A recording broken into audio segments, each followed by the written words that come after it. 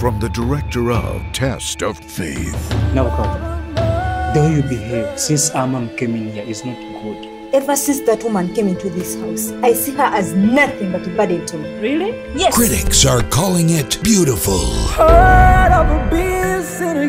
Even scared she wants to steal my property. Impossible! Olaba tuwalampa biswa naye ate ye nkuluku. All my children and my family will have a share of my property. Every property of yours bears my late mother's sweat. And of such, I can't just look on when it's slipping into wrong people's hands. Everything changed.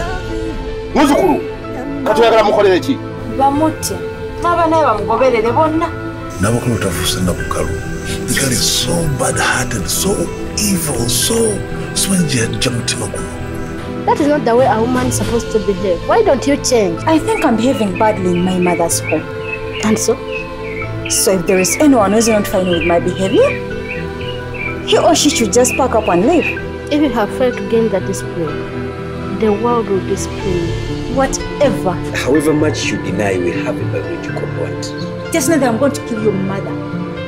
I'm going to kill her. The way I killed your sister. You're also a woman like me. Will judge you. Accordingly.